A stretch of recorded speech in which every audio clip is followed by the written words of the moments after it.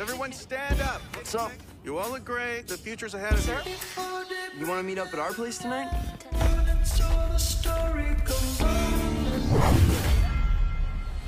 Should have paid the electric bill. Appeared. This guy appeared instead, is that right?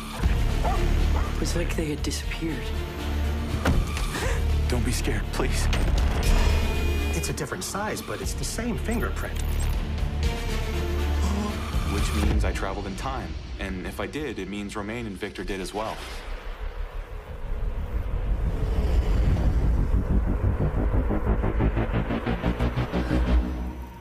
I'm Romane. Remember the Bermuda Triangle? Right? Sorta. Yes.